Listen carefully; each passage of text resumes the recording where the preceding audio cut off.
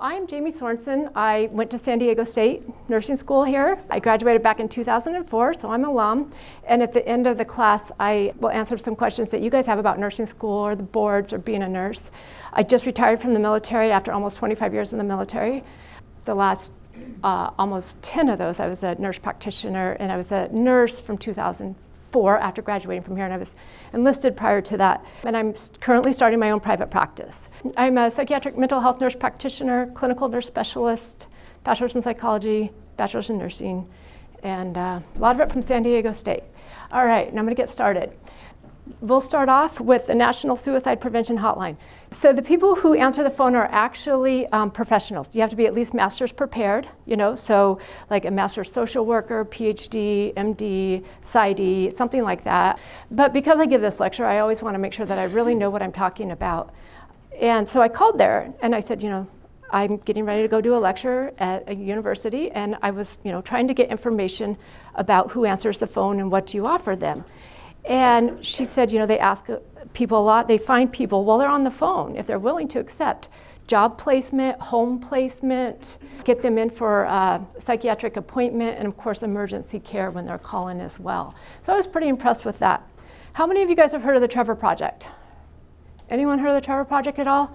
How many people in here are 25 and under? Right? Most of you guys? All right, so the Trevor Project, it was this short video, it was a fictional video, and the kid is kind of suicidal. He's gay and he's doing a bit of immersion therapy to try to make himself straight.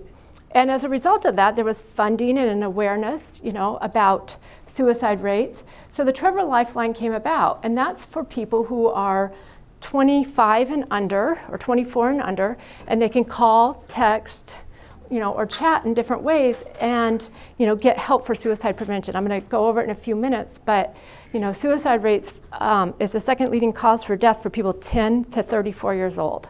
So, and it keeps going up. So the Trevor Lifeline is a great advocate. In the LGBTQIA community, suicide rates are two to eight times greater than the heterosexual community. So it's very needed. And I called them my, too, and I'm like, um, I'm not under 25, and very, very kind man who answered the phone. All right, Dr. Kim told me that some of you guys did the Out of the Darkness walk. I always talk about that. Who all did that in here?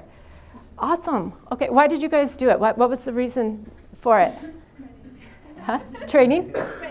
Credit. Oh, credit. Okay. All right. I've been talking about the Out of the Darkness walk here for a long time. So I talked to a lady. Um, she contacted me through social media, and I'd never met her, but she, you know she has this beautiful family, all these family photos, and she says, you know, my teenage daughter, young teen, has tried to kill herself a couple times, and she's like, I don't know what else to do. And I'm like, well, first of all, I'm not, I'm not your provider, you know. You know, I had to be very clear about that. But I said, have you considered going to an out of the darkness walk or whatever suicide prevention walk? You know, that's for the American Foundation for Suicide Prevention. And when you go to those things, so yes, you raise awareness, but there are people whose the parents of someone who committed suicide there as well, you know. And then there's other kids who are suicidal. Somebody might be that selfish kid who's just kind of thinking about their own pain. And when they go, they're like, wow, this is what I could do to my family, or there is hope, or I'm not alone in this. So it's multiple reasons. It's very multifactorial why I would do that. Does that make sense? And it's almost like a discouragement, you know, for people for out of the darkness. All right, suicide, leading causes of death. I updated all the slides last night. So as you guys can see, 10 through 34, uh, suicide is the second leading cause of death. Uh, then it goes down to like the fourth leading cause of death. Of course, as we get older, our health declines. We don't take care of our health as much. You know, it would make sense that other illnesses would be more the reasons that individuals die. Uh, I don't really believe this for 65 and plus. I think the suicide rates are much, much higher than what is documented on here. All right, so means of death, right? Who's more likely to commit suicide with a firearm, male or female? With a gun? Male? Okay. And then suffocation, what does that normally mean? Hanging yourself? Yep. And like, what would be an example of other injury? Suicide by cop. Suicide by cop? Yep, absolutely. All right, what are other ways would be other. It's interesting because this says fall. I think the Coronado Bay Bridge would be an example of other more so than fall. It's a bit different. And I actually, I live in Coronado And uh, they do a lot of suicide prevention work. There's a lot of people there to really um, get barriers put around the Coronado Bay Bridge so people do not jump. Would having barriers on the Coronado Bay Bridge be a deterrent from committing suicide? If that was like their really ideal way to go, it might be a deterrent. Yep, absolutely. Okay, so access to means is huge, right? Um, I'm going to show a couple more slides in a few minutes. So there's people who have a death wish, like no matter what, I am going to kill myself, whatever means possible, and if this doesn't work, I'm going to do something else. But there's also a lot of impulsive suicides. You know, it's like that divorce paper in the moment. You know, you don't have a diagnosed mental illness, you've never been treated, everything's going good. You get the divorce papers, there's a bridge. Does that make sense? Or kid leaves for college. So it's access.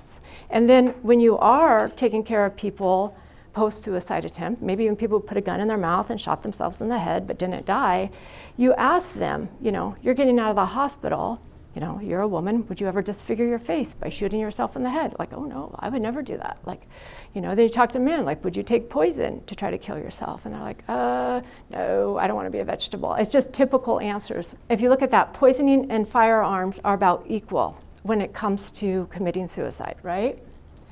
and then followed by suffocation, which um, is typically hanging. Like if the other numbers are going down from slide to slide, why do you think hanging kind of goes up percentage-wise? Why do you think that is? Over like firearms and poisoning. What are some of your thoughts on that? Yes, please. Easy access to a rope. Easy access to a rope or a bed sheet or whatever. Yep, absolutely. You know, that's one of the things, you know, your clothes, pants, anything you know, and that's, you know, when I worked in the prisons, they literally gave people what was called a turtle suit, and it was a green, like round piece of material, and it had Velcro straps on the side, and then green Velcro strap on the back, and that was it, and they were on suicide watch. I mean, they had nothing else, you know, to, to have access. It made it very difficult.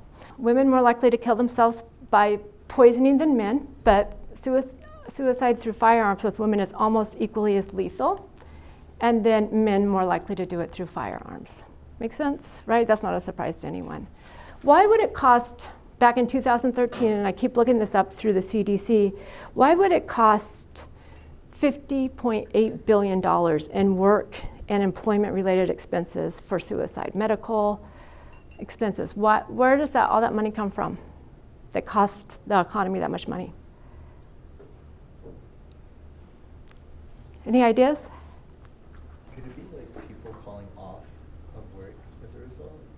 Maybe people are sad and grieving, yep.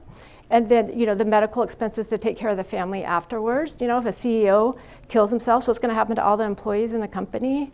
So there are plenty of people who have a very callous, hard attitude towards suicide until it affects them. And I've seen that happen a lot. You know, people will be very dismissive and, oh, you know, you just do like the little hand holding work.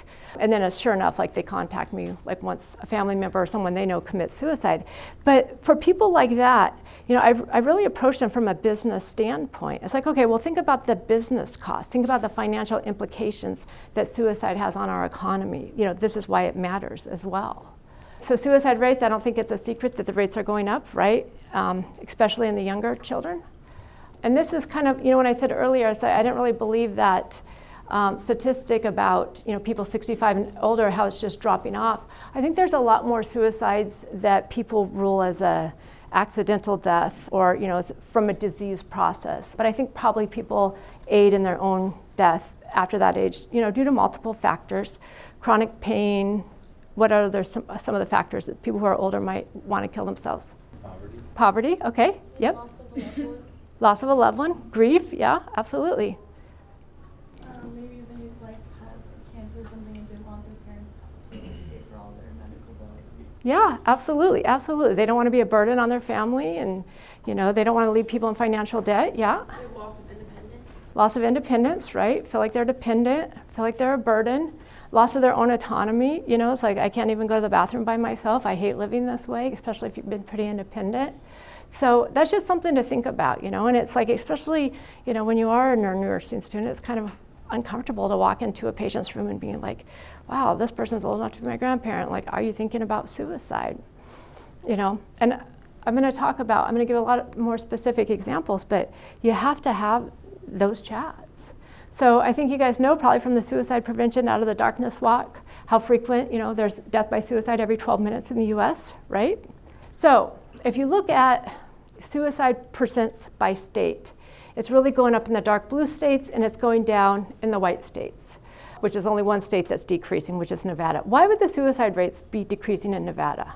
The economy is doing really well there. Really well, really well. Yep. Housing market's doing well. You know, a lot of programs. Why would it be going increasing so much in like Idaho and Wyoming, the Dakotas, Montana? Why would the suicide rates possibly be going up so much there? I'm guessing it's the opposite. The economy's not doing well there. Perhaps the economy. I think the economy is fairly strong, but yeah, that's a big reason. But also like the meth, the crystal meth epidemic, that's a big reason. What are some of the other reasons that you guys can think of off the top of your head? Go ahead. Severity of like the weather up there? Seasonal affective depression disorder, yeah, that can always play a role in it, yep. Cuts in programs. So this is a really interesting slide right here. So it shows somebody who has no mental health condition versus a known mental health condition, how they're going to kill themselves. So a male who has no known mental health conditions, he, uh, and they go back and they do a psychological profile on him. What's a psychological profile on someone? Go through their medical records, look at their lives. What are some of the reasons going on with them psychologically that they would commit suicide? So they go back and it's like, did this person have a history of mental illness? Was there anything in their medical record? And that's no mental illness, 84% chance for the male. 84% down to 69%. For firearms, it goes from 55% down to 41%. Why does it have a 14% drop? What are some of the reasons that you would think versus someone has a known mental illness versus non mental illness? Why are some of the reasons that they're not like, as likely to kill themselves after they've gotten treatment via firearm? Go ahead. People who are mentally ill probably don't have the same access to firearms. Yep, they went in, they've removed them, they've talked to them about it. Absolutely, absolutely. That's a really great answer. So why does the suicide rates for men who are no history of mental illness versus men who have a history of mental illness, why does it decline from 84 down to 69%? Why would that happen? Yeah. Um, because maybe since the mental illness or the condition is like no, there's they're getting treatment. Yeah, okay. And so it goes up in women, down in men. All right, yeah. Why are men with uh, no known mental illness, why is the percentage uh, that they commit suicide so much higher than females? But if they have a known mental illness, it goes down significantly. What, what are some of your thoughts on that? men have less, they're better at hiding a mental illness because they're less likely to ask for help. Uh huh. So then you wouldn't know that they have a mental illness and they wouldn't be getting help. Absolutely, absolutely. And just so you guys know, when you give me answers, they're almost always right. But who's more likely to talk? Who are the biggest chatters? Women or men? Women, right? So what happens? And you know, it's like, uh, you know, I had 25 year military career. Most of my patients have been men, a huge percentage, right? And so it's like them coming into my office, like, this is the first time I've ever, ever talked about this. You know, they hold things in and compartmentalize. So the importance of just talking and getting things out through, you know, getting help is huge. Reasons why people commit suicide, I don't think this is a surprise to any of you guys. Relationship problems, crises in the past, health problems, right? Legal problems, financial, substance abuse, right? Why is it a public health problem? You know, billions lost every year for the people who are just business. 25 suicide attempts for every suicide actually that people die by fatality. So for every suicide, somebody has tried to commit suicide 25 times. All right, risk factors for suicide. Does somebody want to read these for me? Uh, a Thank- combination of individual, relationship, community, and societal factors contribute to the risk of suicide. Risk factors are those characteristics associated with suicide. They might not be direct causes. So the risk factors are family history of suicide, family history of child maltreatment, or previous suicide attempts. Okay, great, thank you. So family history of suicide, why does that matter? Why, why would that play a role? It could possibly imply the severity of the mental illness. That Yep. would be- right. Genetics, absolutely, genetics, depression, the mental illness that goes along with the person who commits suicide. All right, what are some other factors? They might see that as an example of like how their life is supposed to like happen or end. Normalizing, normalizing a suicide. Yep, it's happened in my family. I know how. This is the path moving forward. Just like when a celebrity commits suicide, you know, their suicide rates really go up. And then, so have you guys ever heard of like fighting with the Hatfields and McCoys, right? Um, so the West Virginia, um, Kentucky border, there was like these family feud that went on for years. And uh, one of the guys comes home after fighting. He'd gotten shot and he's, you know, wailing in pain. And his mom's like, why don't you just be a man and kill yourself like your brother, right? So there's also one of Malcolm Gladwell's books where he talks about there's this island where the suicide rates are huge. It's just a normalized thing. It just happens and just people just kind of accept it, you know? Or sometimes after a suicide too, people just completely shut down and they don't talk. And then sometimes they talk a lot more. It can really happen. History of child maltreatment, what is that? You know, so that's childhood abuse. Okay. Why would somebody who's has a lot of childhood abuse, why would they be more likely to commit suicide? Maybe it's because uh, like all of the abuse like carries on into their adulthood and like causes a lot of psychological psychological like, trauma. Absolutely, absolutely, yeah. And then, okay, give me a couple other thoughts. Um, you could have ineffective coping skills, like they don't, they didn't have like someone to go to when they were younger, and so they didn't feel like they could talk to anyone as they're older, so they didn't like deal with it properly. Absolutely, absolutely. And they grow up thinking I'm nothing, right? Maybe like the people who are supposed to love me, the people who are supposed to value me, beat me and treat me horribly. So, you know, why would anyone ever love me? Why would I ever be valuable? You know, I spend a lot of time arguing with my patients about the fact that just because the people whose job it was to love you and take care of you and protect you failed miserably and did a horrible, horrible job, that doesn't mean that you're not lovable. And I spend a lot, a lot of time telling people that. Does that make sense? Like, so, you know, letting people know you're lovable regardless. Like, if, if your parents didn't love you and didn't value you, they failed miserably. That was their job. That has nothing to do with you. So, the concept that I could be loved, I could matter, it just doesn't exist. And they don't have the psychological reserve of self esteem. You know, then some people, you know, obviously go to the extremes. History of previous suicide attempts, you know, it's kind of like the, the, the serious death wish. All right, why, why is that? Why does that play a role in suicide? The chances that someone's going to commit suicide again? Because they've already kind of put themselves in that headspace before, so it's a lot easier to go back than first crossing that line. Absolutely, absolutely. Yep, I've been in such a dark place. I've been there before. I have, you know, just wanted the pain to end. And I'm here again. I just want the pain to end. It's like it's never going away, the feeling of hopelessness. Why about, um, what is substance abuse? Why does that play a role in suicide? Maybe with like alcohol and substance abuse, it alters like your way of thinking. So if you're having a dark moment and you're also like have like abusing a substance, you just impulsively do something. Absolutely, absolutely. Maybe not even impulsive, maybe planned, but maybe both ways. Absolutely, great answer. Okay, yes? So it gets you away from like being in a sober state, so you're more in a pleasurable state. So now you can have like you can think about more things and like have like pleasurable thoughts rather than uh, depressive symptoms.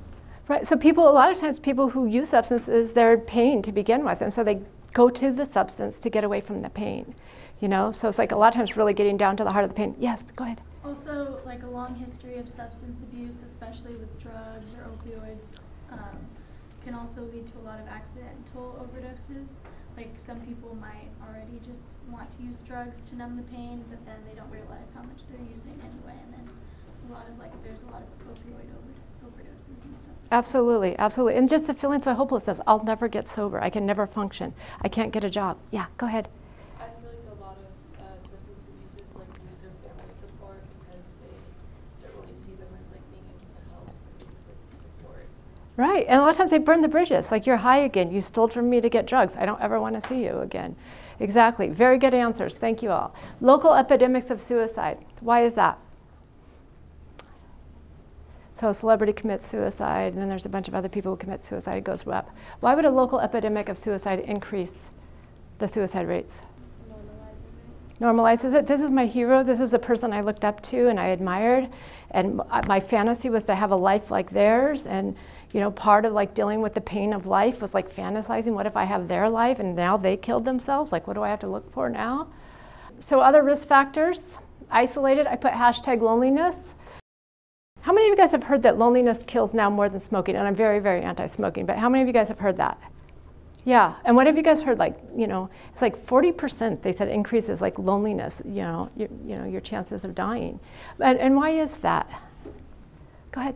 It's like mainly because if you're like, if you have chronic loneliness, like then you're more exposed to like having like you're more stressed, you're more like it's just related to like your physical health.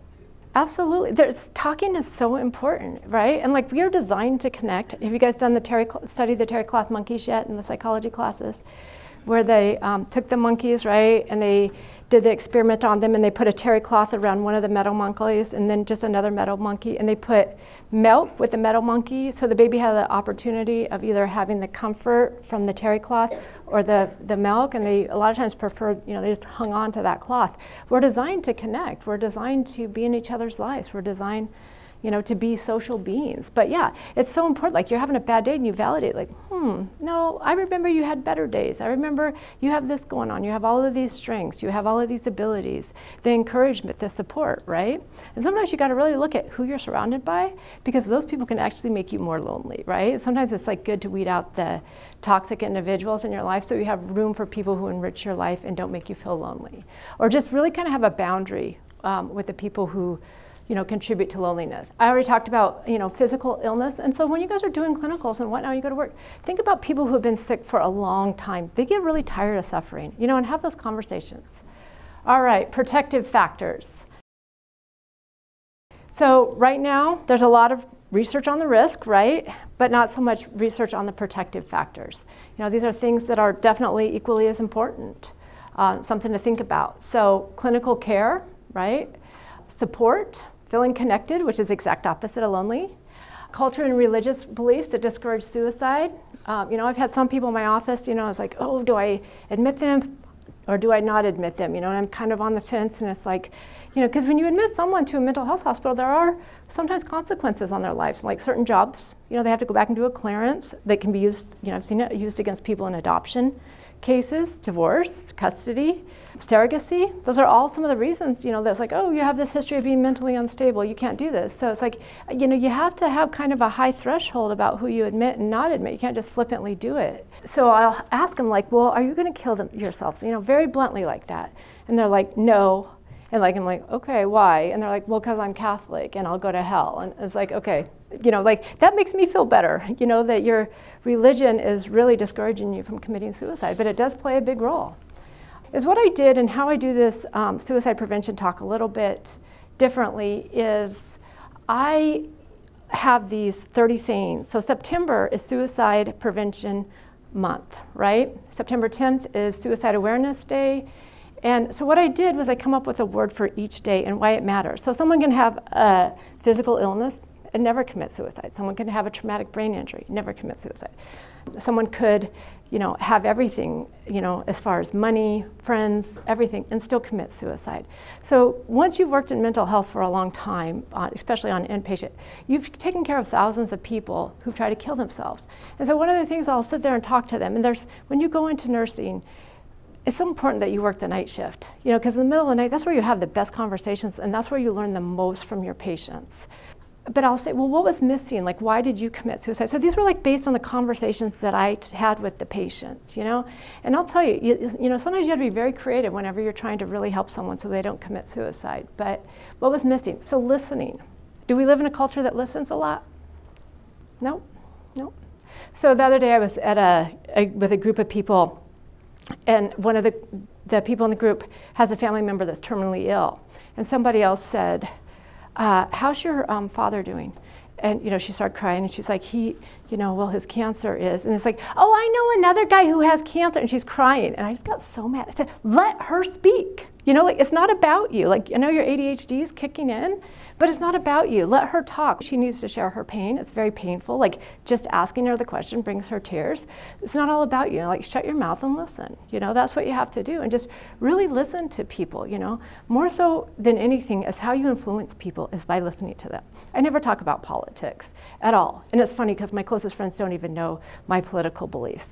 I will listen to both sides and you know, then I'll hear the conversation. Well, I think this, I think this, and then towards the end of the conversation, like, well, we think, we think, we think, and just by listening to them, they feel that I validated them, right? So listening. All right, time, giving people your time. What does it mean when you give people your time? Just being present with them, even if it's just like sitting there quiet with them. Okay, but what's the message it gives people when you give them your time? Or what is, what's the message it gives people when you don't give them your time? Well, when you do give them your time, it shows you care. It shows you care. Absolutely, absolutely. For you young single people in here, you know, if someone can't make time for you, they probably don't value you. You know, if you're not precious enough to be part of their time, move on to the person who will give you the time that you want, right? So time, time lets you know you matter to me. You're important to me. You know, and that's one thing now, you know, in private practice, I have to sit there and tell the patients in the beginning, okay, you know, this is how long we have. I want to spend this portion of this time listening to you. I want to spend this portion of the time you know, asking you questions so I make sure I heard you and I understand everything, then this percentage of time wrapping everything up and making sure I get your labs and your meds ordered. But I want to make sure that I start off by giving you my time and my focus because I want you to feel important and just listen, give them that time. Okay? Presence. She already said that.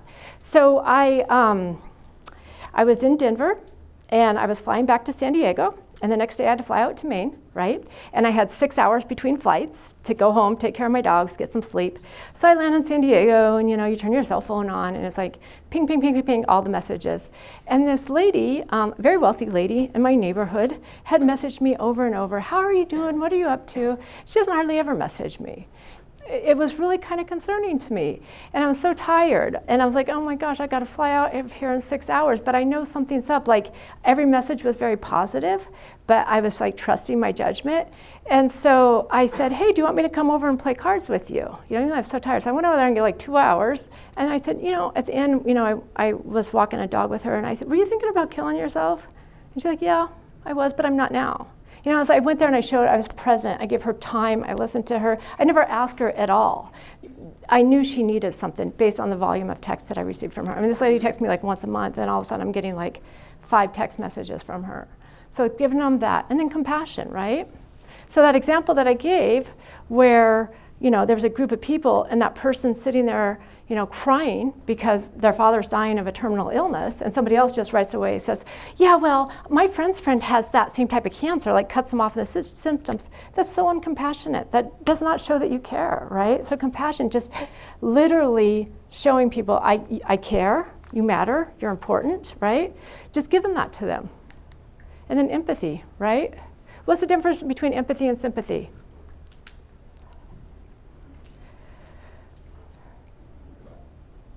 All right, so how many of you guys have ever had food poisoning in here?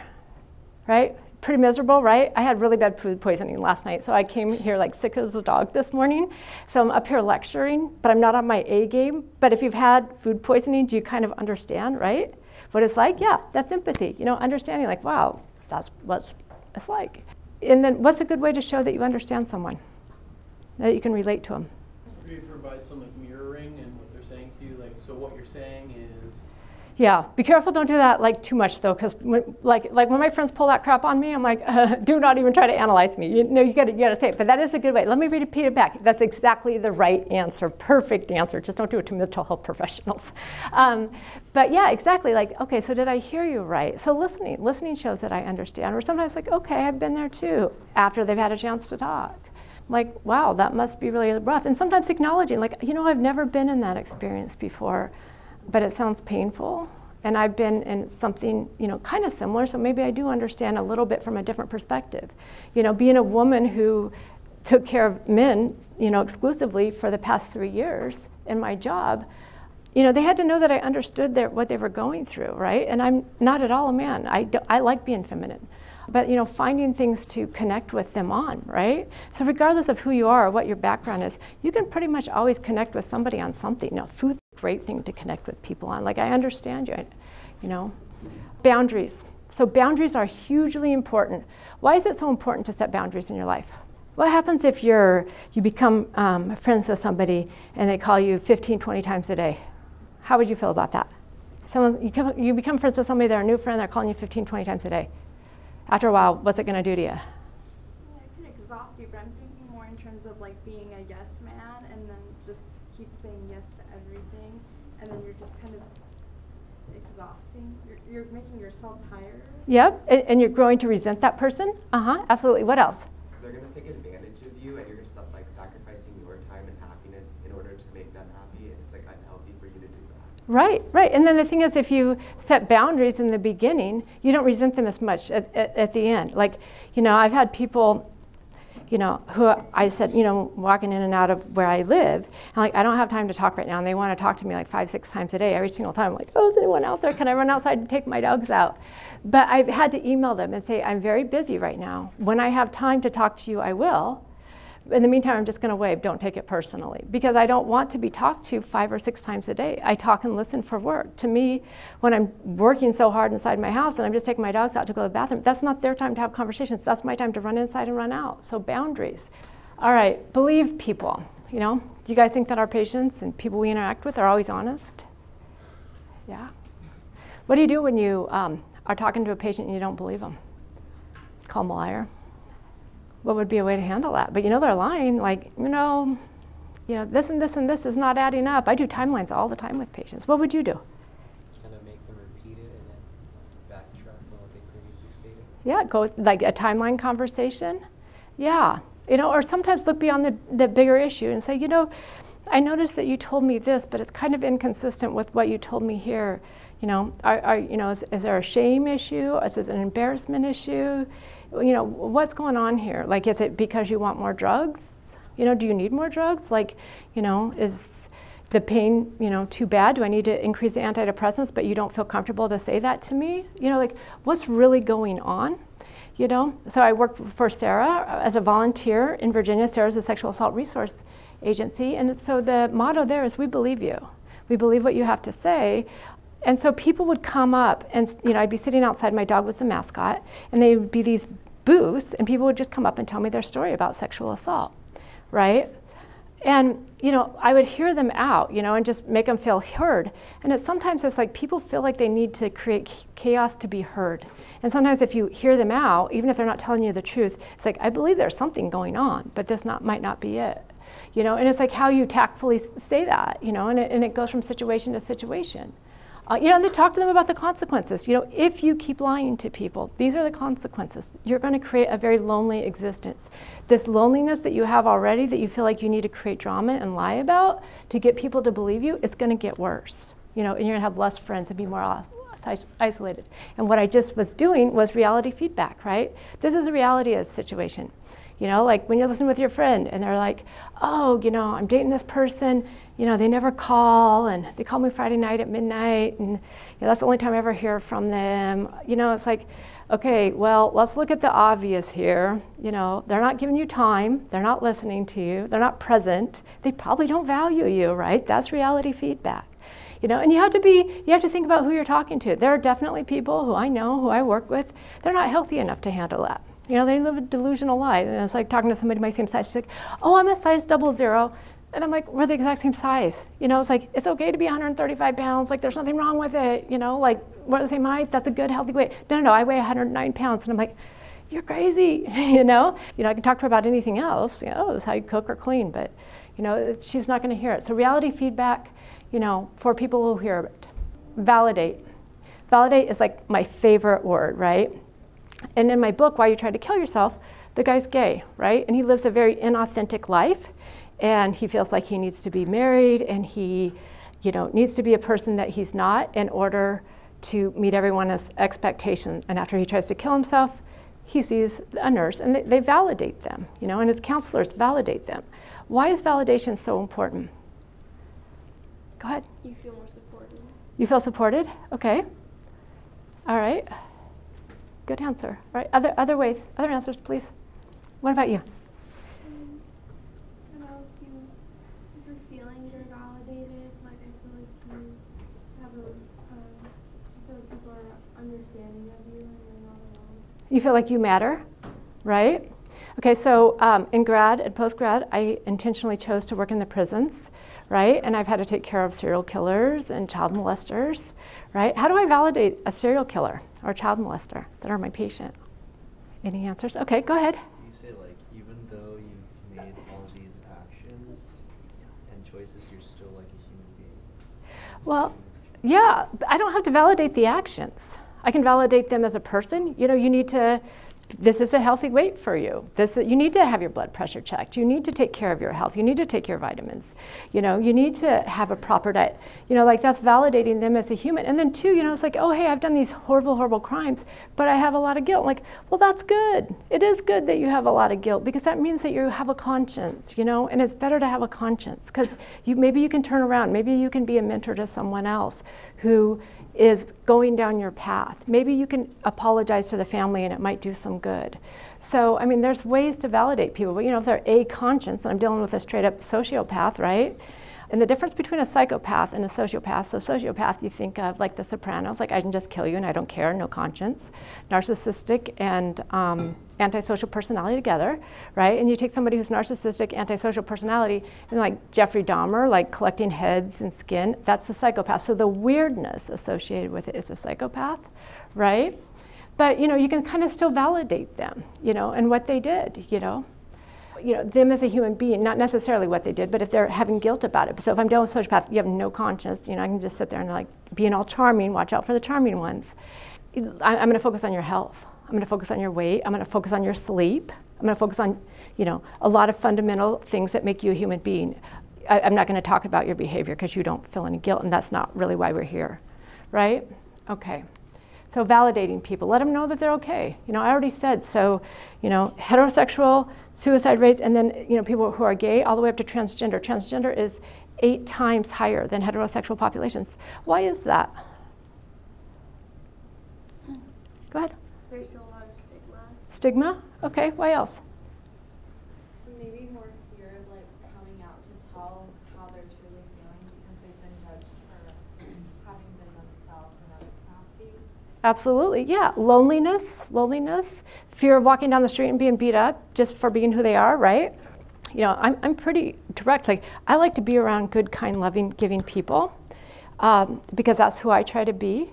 Um, and I don't like to be around selfish people. But you know, I validate people and say, you know, if you have these traits, there's such a shortage of people like that in the world. And if you have these traits, you're the type of person I want to be around. You know, these are these are very positive traits. You know, people cannot appreciate that. Let them move on. You know, let them go be friends with a selfish person or whatever. You validate their goodness, you validate their worth, and you remind them, just like when I was talking about the childhood maltreatment, just because your family rejected you, again, that doesn't mean that you're unlovable. You need to go create your own family. Okay? So sympathize, feel their pain, be sincere, right? So, you know, in addition to not listening, right? When it's just kind of like a fake answer, like, yeah, oh, that's nice. Have a nice day, right? What is that kind of doing to somebody who's in a lot of pain, right? And you tell your story to them and they're just like, oh, that's nice. You're like, um, I just told you that I wanted to kill myself. And you're like, oh, that's nice. Like, what is that? Like when you're not sincere? Go ahead.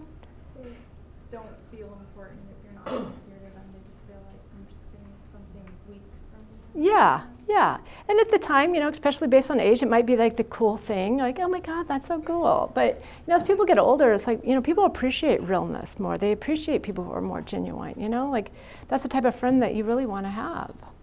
You know, meet individuals where they're at, right? Maybe someone is recovering from addiction, right? They've been sober for 10 days, you know? But that's that's as long as they've been sober in 10 years. You know, you lay on the praise. Well, that's wonderful, you know? Or like, I, nobody hates smoking as bad as I do. Like, but, you know, it's like, you know, oh, you cut down from 10 to 8 cigarettes a day. That's wonderful. You know, you're in a great direction. Where are they at, you know? And like, no, give them a, a place to grow, you know? Like, you know, people who've been in counseling for a long time, you know, they've done a lot of work on themselves. You know, there are people that's like, you know, I have a desire maybe to be a better human being, but I, you know, don't know. And if we criticize them, we don't meet them where they're, at. We don't encourage them. We, we don't validate their strengths. We're not doing that. We provide ego strengths. So ego strengths, right?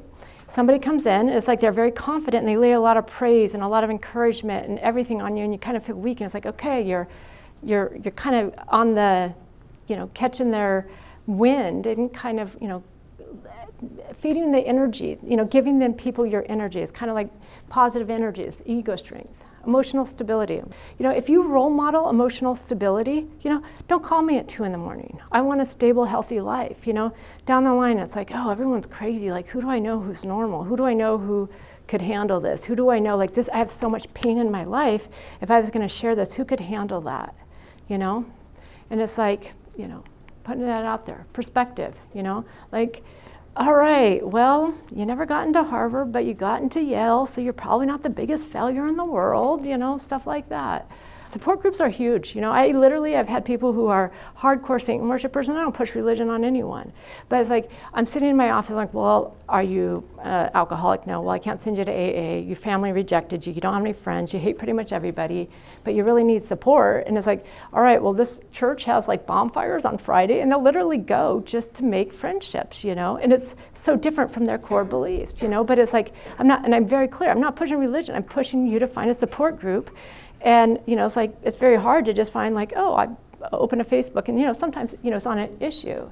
Support groups, you know, a lot of them through the church. A lot of like, you know, the Rock is huge. Again, I'm not doing things, but you know, like they have this place like Safe in Heaven, like, you know. So I was talking to a girl, and like, her baby had just died right after giving birth, like three or four days old you know, she's just crying in a huge puddle of mess, you know, I was like, that's always the hardest for me because I'm a high energy person, you know, so when I have to stop and be really calm and gentle and just sit with people in their pain, that's more challenging for me because I am so high energy, but it's like, what do I have to do, you know, besides, you know, listen to her pain, hold her hand, let her cry it out.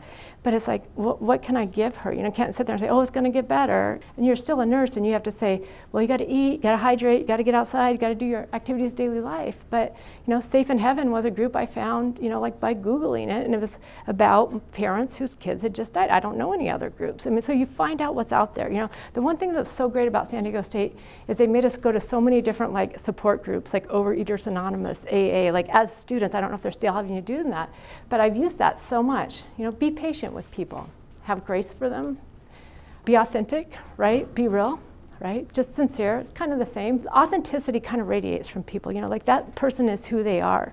You know, they embrace their flaws, they embrace their weaknesses, they embrace their vulnerabilities. You know, if you guys ever um, want to watch a really good TED talk, watch The Power of Vulnerability with uh, Brene Brown. You know, it talks about, you know, when you own your insecurities rather than let them own you. You know, like I get up here in front of all you guys and say, oh, you know, I have ADHD. Or if like there's a mistake written in one of my books, it's like, okay, well, I have ADHD. You're picking on a handicapped person. You know, like I own it before, you know, it's like I'm doing the best I can, right? Does that make sense? think out of the box. You know, some of my patients, you know, I was just talking to Dr. Kim at the beginning of class, and, uh, you know, they were talking about this um, treatment at this place I was at that they were going to give this patient. And so they were talking about this machine and this drug. And they were talking about how for three weeks the patient got better. And I'm like, well, they had a lot of hope going on in their life during that time. Th- like everybody looked at me like I was crazy. And I'm like, hope, even if you're depressed, you know, like absolute depression is hopelessness. Like, you know, people sometimes forget the fundamentals. They get so caught up in giving people like a drug or whatever, you got to really sit there and think like, how can I instill hope in this person who feels hopeless? Remember, people are individuals and create visions. You know, create. You know, I've sat there and I've done like role playing or like, what? Imagine what your life's going to be like in 20 years. You know, or imagine yourself as a parent. Like maybe you want to kill yourself now and you are a parent, but what's it going to be like when you have a grandchildren? What's your life going to look like then? You know, create hope for those people who are you know, single, pitiful, and unlovable, like my book title. You know, like, what would it be like if you were with somebody who's healthy? You know, I was talking to somebody the other day getting a divorce. She's like, there's, I'm never ever going to be with a good man. Like, it's just everyone, every relationship I've ever had is horrible. And I said, well, there's no other option. You know, motivate them. You know, you can do this. You can get through this. You guys can get through nursing school here. Pass your NCLEX, 99%, right? You guys will be the 100% class because you motivate and inspire and encourage and support and you're present with each other right after this lecture. You guys got to work on the sense of humor and answering questions and not being afraid to be vulnerable by giving the wrong answer. All right, inspire people, right? You know, live a life, you know, try to be a role model and be like, all right, I'm not going to do this because it goes against my morals. It goes against my values. I don't do that. You know, like somebody had done something very hurtful to somebody and they were justifying their actions. Like, no, that's not okay that you did that. That was mean, spirited, and hurtful. And that goes against my moral compass. It was very mean. You know, like hope, give people hope, right?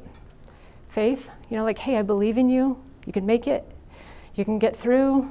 You know, sometimes, you know, you have to believe in something bigger than yourself or, and then ultimately love. All right. So I'm going to open it up to questions now. Any questions you guys have? Anything about nursing, anything about mental health nursing, anything about San Diego State, the NCLEX, beyond San Diego State. Any questions? Okay, go ahead. Yeah. Um, do you ever have patients where they are clinically depressed and like have you said before, like no matter what, like they're gonna want to commit suicide? Is there ever a point where you're kind of like you can't do anything else for them? Um, well, I mean, you know, then of course you have to refer them. Um, but you know, like I definitely involve other people in their care at that point. Like, okay, I'm a mid level provider. I got to give this to somebody who's a higher level provider. Um, but I definitely, you know, a lot of times I'll still stay in their care, or okay, I can still provide some supportive counseling or some supportive therapy. Um, but again, a lot of out, of out of the box thinking. You know, I had a cousin that committed suicide, and uh, I think about it now, and I, you know, I tell people, it's like, you know, I've written the book on suicide, I do suicide prevention lectures, and honestly, it's what I would have done with him is I would have encouraged him to move to Japan. Like, I'm from like a really tough, like Irish family. You know, my cousin was very gentle spirited and soft spoken and everything else. And it's like I lived in Japan, and he would have blossomed and bloomed and done wonderful there. I have encouraged people. It's like if you're going to kill yourself, you know, think about cashing in all your credit cards and going living another life in Mexico. Like when it's, I mean, I'm not saying that in the moment. Like don't don't get me wrong, but when I'm creating vision, like there is another life out there. Like you know, change, make a major change in your life. But I definitely involve other people, try other meds. You know, there's ECT, there's hospitalization. You know, so if someone's definitely suicidal, you know, you, you don't have a choice but to hosp- hospitalize them. You know what I'm saying? But it's like they're never ever going to get out of that depression I mean, that's where all the out of the box, and you know, and you think every possible avenue, like therapy, vitamin D, you know, nutritionist, occupational therapist, just go on and on and on, and, and you just do all resources. Then you, a lot of times you look at it personality, just like, what are you getting from being so unhappy all the time? Like, you know, what is motivating you to not get better? Okay, go ahead. Yeah. In regards to like salary negotiation, uh-huh. negotiation, how do you respectfully ask for like a higher like pay? Yeah, this is so important. It really is. And I was talking to Dr. Kim before. First of all, you got to think about your experience where you went to school. I think you do the research ahead of time, you know? So, you know, you're going to go work out like on a med surg unit and you go in there and you have done the research. You know what, like on a Facebook nursing group, like, hey, what are you guys making? And you talk to the, the people and like you have the things. Like, you know, this is what my colleagues are making. This is what, you know, is fair and equitable treatment. This is what I'll provide for you. Or if you can prove that you can provide more for them. So like right now with me creating my own business and doing subcontracting, you know, I'm proving, A, you don't have to impanel me into insurance companies. You don't have to pay my malpractice. Therefore, I'm going to pay you more, less money, you know, to see your patients. So it's really doing the research is huge and having that ready. But I, I really presented one interview wrong because I went in there and I told them how much it cost me. Like it was like $3,500 to maintain all my credentials and I have all of these extra degrees. But where I messed up there is I needed to go in there and say, you know, this is how much money I'm going to make you. You can take it or leave it. You know, and don't be afraid to walk away. Do not be afraid to walk away. You have to do that. You know, if it, if it doesn't feel right, doesn't resonate, you're going to sit there and be resentful and bitter. Move on. You know, it's a hard enough job. All right. You know, and then also offer people things like, you know, nobody wants to work this shift, but I'll work it. You know, so those are things too. Go ahead. Uh, just curious about your experience working as a prison nurse. Uh-huh. How long did you do that, and what what uh, prisons did you work in? I was in Virginia, Virginia Department of Corrections. Um, I did it throughout grad school, so 2008 to 10. You know, it was some of the easiest work I ever did because and I you know I tell my active duty this whenever I take care of them. It's like you know I understand I empathize I you know I, I feel like I'm one of you. And um, so it's hard not to be emotionally connected. But when when I was in the prisons it's like I'm a very, very great nurse. You know, you know, making sure they're getting all their meds, checking everything, you know, great physicals, or anything wrong with them, you know, all of the side effects, everything. But I didn't have the emotional connection. You know what I mean? So I was like more robotic, but definitely still a good nurse. So to me, that made it easier. It was always very mentally stimulating, and I was definitely in a place that I needed a lot of mental stimulation, like very active brain. Well, I wish all you guys the very best. And, uh, you know, the things that you really worry about in nursing um, are really not the things that you need to worry about down the line. It's, it, you know, like I remember like the little things uh, I was like so worried about. You know, and there's so much time, you know, I have so many friends who are going to grad school you know, and they, they stress out 90% of the time and study 10% of the time. So, and that's so true. So, you know, just kind of reverse that and, you know, go out and enjoy yourself 90% of the time. Get that 10% done right away. You know, sit down and be like, okay, I'm going to study for 10 minutes this hour and then I'm going to go play for 50. All right. Okay. Any other final questions? All right, thank you guys for bearing with me.